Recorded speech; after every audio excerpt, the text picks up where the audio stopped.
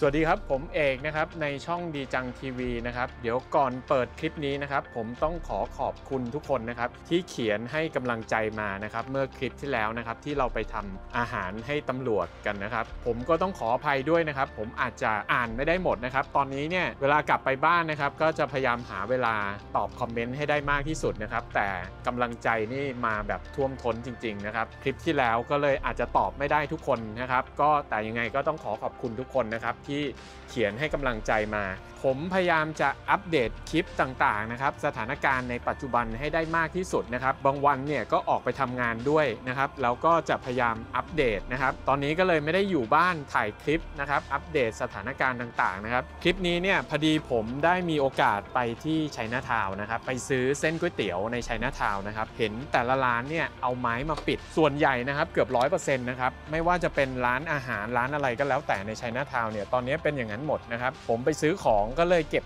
ภาพแล้วก็บันทึกภาพมาให้ทุกคนได้ดูกันนะครับ ในคลิปนี้มันก็จะงงนิดนึงนะครับ คลิปนี้ผมไปขายของแต่ผมจะพาไปดูที่ชัยนาทาวที่ผมถ่ายไว้แล้วเมื่อวันนั้นนะครับ แต่ส่วนคลิปของวันนี้ก็อาจจะ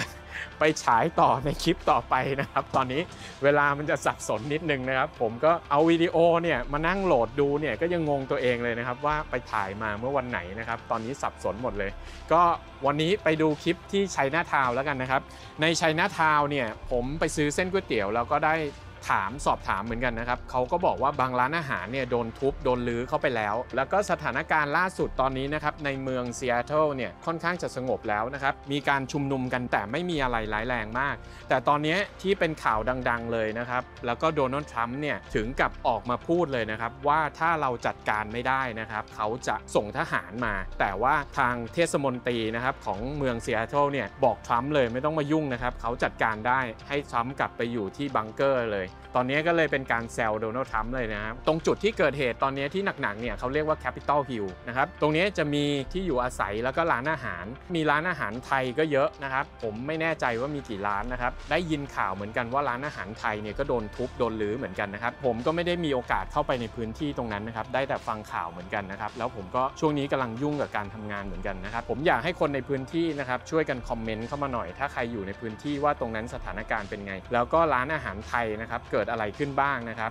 เป็นภาพที่เห็นจากในออนไลน์ซะส่วนใหญ่นะครับ ก็อยากให้ช่วยกันรายงานหน่อยว่าเป็นไง ตอนนี้มันเรียกว่าเป็นการยึดพื้นที่ยึดอาณาเขตช่วงนั้นแล้วกันนะครับ ใน Capital Hill เนี่ยเขาจะทำเป็นเหมือนอะไรอะผมก็เรียกไม่ถูกเหมือนเป็นเมืองเมืองหนึ่งของเขาไปเลย เขากินนอนกันอยู่ที่นั่นเลยนะครับก็ธุรกิจเนี่ยน่าจะเสียหาย ทั้งในสถานีตำรวจด้วยก็เต็มไปหมดเลยนะครับเจ้าของธุรกิจเนี่ยคงลำบากใจนะครับ เดี๋ยวไปดูคลิปที่ผมไปชัยนาทาวน์ไปดูบรรยากาศรอบๆที่ผมเก็บไว้ให้นะครับ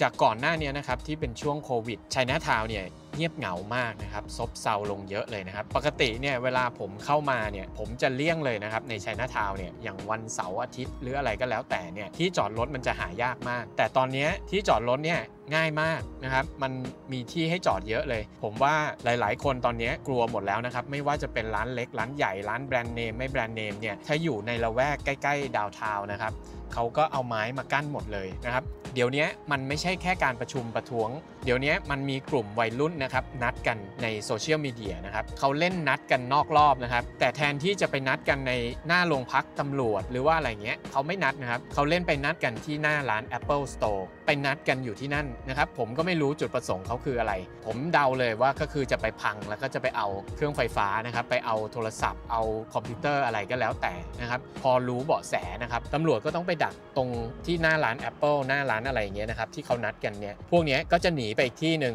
แถวบ้านผมเนี่ยก็มีการนัดเหมือนกัน นัดไปที่ห้างสรรพสินค้าวอลมาร์ทนะครับมันไม่เกี่ยวอะไรกับร้านค้าเลย ก็จุดประสงค์เดียว ผมก็เดาว่าพอประท้วงได้ที่ก็จะพังร้านเข้าไปแล้วก็ไปเอาของ แล้วก็อีกเรื่องหนึ่งที่อยากจะเล่าให้ฟังนะครับว่าภาพที่เราเห็นเนี่ยมันมี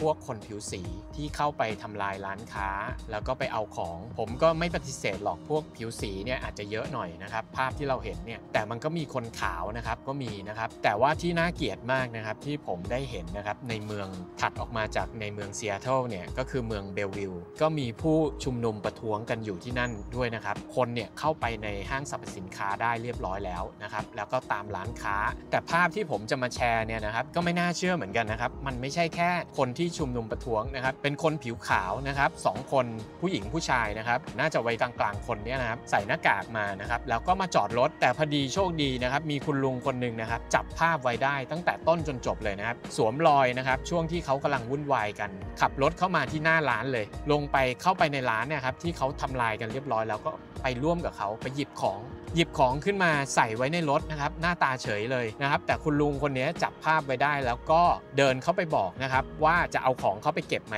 ฉันถ่ายป้ายทะเบียนคุณก็ได้ฉันถ่ายตั้งแต่คุณเข้าไปหยิบของแล้วเอามาเก็บในรถผู้หญิงก็มาพูดปฏิเสธอะไรหลาย ๆ อย่างนะครับ แล้วก็โวยวายโวยวายแล้วก็ขึ้นรถหนีไปเลย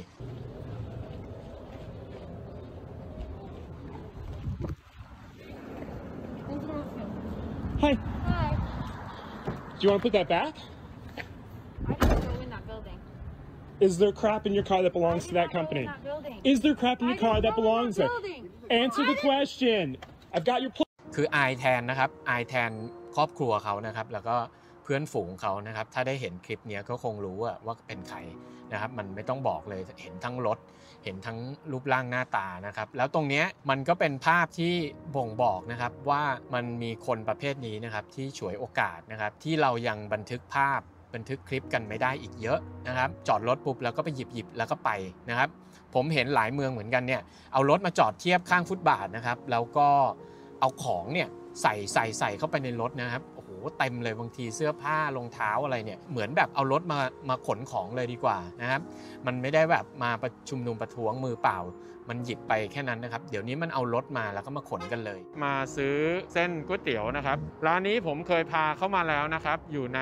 ชัยนาทาวน์นะครับเป็นร้านที่ผมแวะมาซื้ออยู่ประจำนะครับ แต่ตอนนี้เขาเปลี่ยนเจ้าของแล้วนะครับ ผมก็ไม่รู้ว่าเจ้าของเดิมเนี่ยเขาเป็นอะไรนะครับ ก็ตอนนี้เป็นเป็นเจ้าของใหม่แล้ว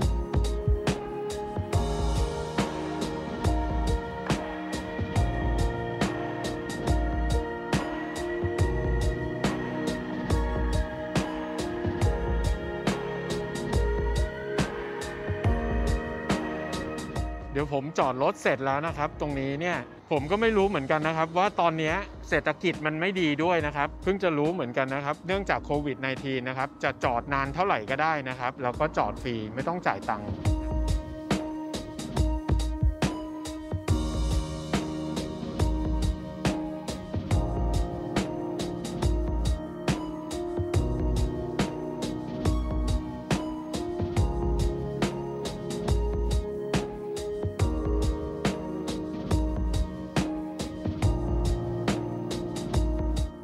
ว่าเหตุการณ์นี้นะครับ ตอนช่วงประท้วงเนี่ยทางที่ดีที่สุดนะครับ ก็คือผู้ปกครองนะครับ ต้องคอยดูลูกๆหลานๆของตัวเองนะครับ เฝ้าระวังนะครับ เพราะตอนนี้มันจะเป็นกลุ่มเด็กที่คึกขนองนะครับ ไม่ได้ว่าต้องการมาประท้วงเพื่อในในจอร์ดฟลอยจริง ๆ นะครับ ในเมืองที่ผมอยู่เนี่ยเมื่อวันก่อนเนี่ยผมก็เพิ่งได้ข่าวเหมือนกันว่ากลุ่มเด็กนะครับ ในเมืองติดต่อกันนะครับ นัดเจอกันจะไปที่ร้านหน้าร้านนู้นหน้าร้านนี้อย่างเงี้ยนะครับ แล้วคราวนี้ผู้ปกครองเนี่ยเขาจับได้นะครับแล้วแล้วเขาก็เลยรวมตัวกันเหมือนกัน เป็นการรวมตัวของผู้ปกครองนะครับ แล้วก็ไปดักอยู่ที่หน้าร้านที่เขานัดรวมตัวกันเลยนะครับ แล้วก็จัดการเด็กๆ ลูกเขาเองเนี่ยแหละครับ ไปดัก ตตะตูดเลยดีกว่านะครับเขาเรียกว่างั้นแน่เขาใช้ภาษาว่าไปเตะตูดลูกเขาเลยนะครับ ให้กลับบ้านทุกคน อันนี้ก็เป็นข่าวในเมืองของผมนะครับเขาเอามาแชร์กัน ก็เป็นตัวอย่างหนึ่งที่ว่าเราจะได้เห็นนะครับว่าเวลาลูกเราไปทำอะไรเนี่ยเราควรเฝ้าระวังให้ดีนะครับ ถ้าทุกคนช่วยกันนะครับ ทุกครอบครัวเนี่ยเด็กพวกนี้ที่ไปทำลายข้าวของเนี่ยไปขโมยของเนี่ยมันก็อาจจะไม่เกิดขึ้น ร้านนี้คือร้านอะไรผมก็ไม่แน่ใจนะครับ เพราะว่าปิดทึบสนิทไปเลยนะครับเนี่ย น่าจะเป็นร้านอาหารเกาหลีหรือร้านจีนสักอย่างนะครับ ผมไม่แน่ใจนะ ตรงเนี้ยตรงนี้คือปิดทั้งร้านปิดตายไปเลยนะครับ เนี่ยคือถ้าปิดขนาดนี้นะครับ ผมก็ว่าคงไม่ได้รับลูกค้าแล้วล่ะครับนะฮะเนี่ยโอ้โหร้านนี้ก็ไม่ใช่เล็ก ๆ นะครับ ร้านค่อนข้างใหญ่เหมือนกัน ดูแล้วเราก็รู้สึกน่าใจหายนะครับ ไม่ว่าจะมุมไหนนะครับ ทุกด้านเลยในชัยนาทาวถึงจะมีรถจอดก็จริงนะครับ แต่ร้านส่วนใหญ่เนี่ยก็ปิดลูกกง ปิดไม้ไปหมดเรียบร้อยแล้ว ถ้าใครนะฮะเคยดูหนังเกี่ยวกับพวกเรื่องซอมบี้เนี่ยผมว่าไม่แตกต่างกับจากหนังเรื่องซอมบี้เลยนะครับ คล้ายๆกันเลยตอนนี้เมืองมันแบบว่าทุกจุดนะครับจะต้องเอาไม้มากั้นหมดเลย ตอนนี้นะครับผมเวลาเดินไปไหนเนี่ยเวลาออกมาถ่ายทำคลิปนะครับ ผมก็พยายามสังเกตเหมือนกันนะครับ ว่าใครที่เขามองเราแปลกๆหรือว่าไม่พอใจนะครับ ตอนนี้ที่หลาย ๆ เมืองเกิดขึ้นก็คือมีฝรั่งบางคนเนี่ยไม่ค่อยพอใจคนหัวดำนะครับ หรือเพราะว่าคนเอเชียนบ้านเราเนี่ยเห็นพวกเราเนี่ยก็เป็นเหมือนคนจีนนะครับ พยายามจะขับไล่นะครับ บางทีก็ตะโกนด่าโอ้ยหายใจไม่ออกนะครับ เดี๋ยวก่อน เมื่อไม่กี่วันมาก่อนเนี่ยนะครับมีร้านไทยนะครับได้โพสต์ลงไปใน Facebook เหมือนกันนะครับ ผมก็ได้ไปเจอเหมือนกันที่เขามาด่านะครับมาเหยียดพวกเรานะครับไม่ค่อยพอใจพวกเรานะครับที่โทษว่าเราเนี่ยเป็นพวกนำเชื้อ ไอไวรัสโควิดเนี่ยมาเผยแพร่ในอเมริกานะครับตอนนี้ร้านไทยร้านนี้ได้มาโพสต์ลงนะครับมีฝรั่งคนหนึ่งเนี่ยไปเตะข้าวเตะของอยู่หน้าร้านแล้วก็ตะโกนด่านะครับบอกให้กลับประเทศจีนไปนะครับแต่ว่าร้านอาหารมันเป็นร้านไทยนะครับร้านก็น่าจะชื่อไทยๆเนี่ยแหละ ช่วงนี้เวลาผมเดินไปไหนเนี่ยถ้าเจอใครแปลกๆนะครับที่มองเราไม่ดีเนี่ยผมก็พยายามจะสังเกต เพราะว่าก่อนหน้านี้ก็มี คนจีนนะครับ คนจีน 2 คนนะครับ ผู้หญิงผู้ชายเนี่ยเดินซื้อของอยู่ดีๆนะครับ ก็มีฝรั่งเข้ามาผลักคอเลยนะครับ แล้วก็อันนี้เป็นข่าวเลยนะครับ ข่าวออกในช่องทีวีเลยว่า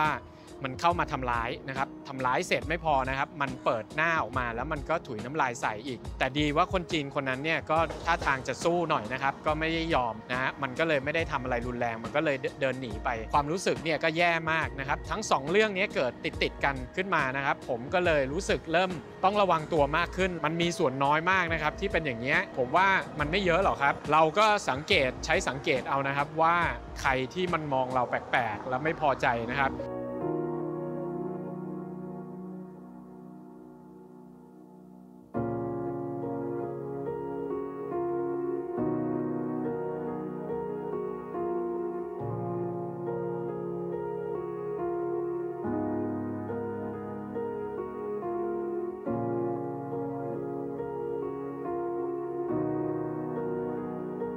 ข้างหลังผมนะครับก็คือ Bank of America นะครับแบงก์นี้เนี่ยก็เป็นสาขาในไชน่าทาวน์นะครับเอาไม้เอาอะไรมากั้นเพื่อป้องกันนะครับตอนกลางคืนอาจจะมีผู้ประท้วงเนี่ยหลุดเข้ามาในไชน่าทาวน์นะครับแต่ตอนนี้ผมยังไม่กล้าเดินผ่านไปที่ข้างหน้าแบงก์นะครับเพราะว่ามีคน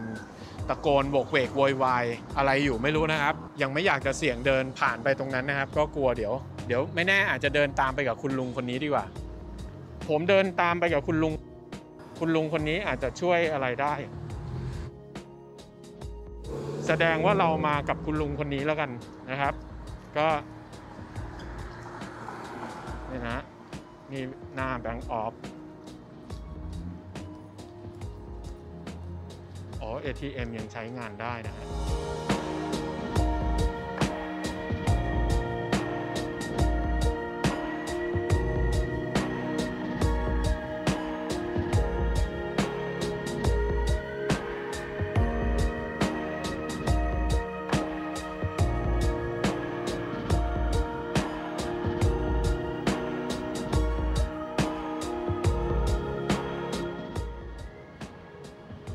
ตอนนี้นะครับผมเดินมาที่ตรงตลาดตลาดอัวจิมาย่านะครับ ตรงเนี้ยสมัยก่อนนี่ผมเคยทำงานอยู่ในนี้นะฮะเป็นร้านอาหารไทยที่อยู่ในนี้นะครับ แต่ตอนนี้ก็โอ้โหตลาดเงียบมากนะครับ แต่ก่อนนี้มันไม่เป็นอย่างนี้เลยนะ มันมีคนพลุกพล่านกว่านี้เยอะเลย ตรงนี้เป็นตลาดอุวาจิมายานะครับ เป็นตลาดของคนญี่ปุ่นนะครับ ใครที่มาชัยนาทาวน์เนี่ยก็ต้องมาแวะที่นี่กันทั้งนั้นเลยนะครับมาซื้อข้าวซื้อของ มีอาหารสด อาหารญี่ปุ่น ขนม หนังสือการ์ตูน ของที่ระลึกจากญี่ปุ่นก็มีเยอะนะครับ แต่ก่อนเนี่ยคึกคักมาก เดินเข้าเดินออกเนี่ยคนเต็มไปหมดนะฮะ อันนี้แหละฮะคือร้านไทยเพลส นี่เดี๋ยวผมให้ดูหน่อย โลโก้เปลี่ยนไปแล้ว นี่นะครับ ร้านนี้ผมเคยทำงาน แต่ว่าเพื่อนเพื่อนร่วมงานสมัยก่อนๆของผมเนี่ยคงไม่อยู่แล้วที่เนี่ยนะครับเป็นอาหารแบบตักขายนะครับ เป็นแบบฟาสต์ฟู้ดผมไม่รู้ตอนนี้เปลี่ยนไปยังอ๋อตอนนี้น่าจะคงเป็นแบบทูโกนะครับ